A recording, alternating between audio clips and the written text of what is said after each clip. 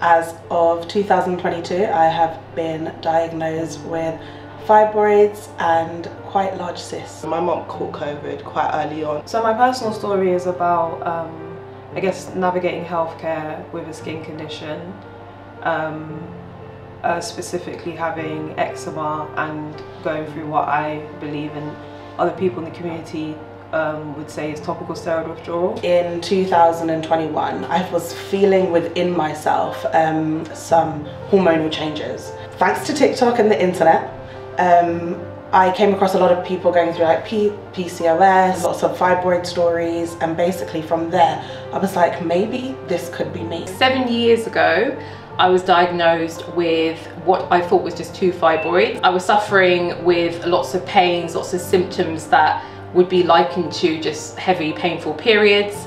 I went to my doctor, he said it's nothing. But as a woman, you know your body, so I went to see a female doctor and she said in the first instance it's probably just a cyst on your ovary. But she got me in for an ultrasound with the hospital and they found out I had two fibroids.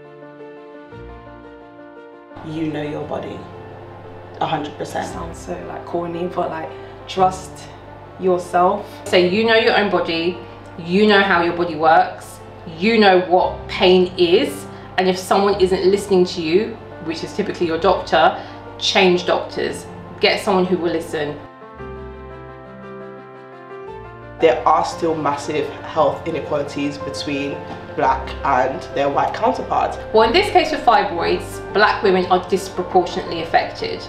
So I do feel because of this, because of the race aspect, that there isn't a willingness to pump money into that side of things. That black women are strong.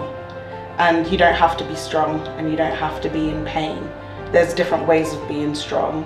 And that narrative has been pushed into healthcare as well. It's institutional, it's structural.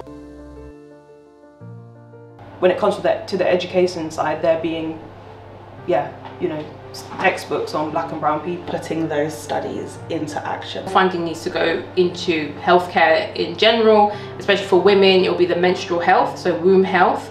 We can also ensure that we continue to educate on the front of this is what's normal, this is not what's normal. We've got the statistics, we have the evidence that we know that it's there, so now we need to have actual laws and health policies in place. Mm -hmm. And that's where Hutano comes in. So Hutano in my native language, Shona, translates to health, and that's exactly what we're focusing on. We want to be able to make sure that the health of black and brown people, like the people that you saw in the video today, are represented when we're having these conversations. We are focusing on amplifying your voices to improve our health. And we plan to do this by connecting people, data and research to improve our health outcomes. If you want to know more information about what we're doing, visit us over at Hutano.